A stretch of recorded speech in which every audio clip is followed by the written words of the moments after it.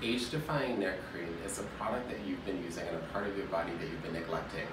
We all focus on our face and our eyes in our 20s and 30s, but suddenly we notice that our neck looks aged and might have more sun damage.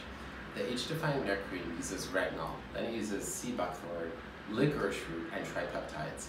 It's going to work on the skin that's very delicate around the neck and the décolleté to gently remove some of those spots that you might have had from sun damage but it's going to be nourishing the skin, lifting it, and giving you an even tone with your face.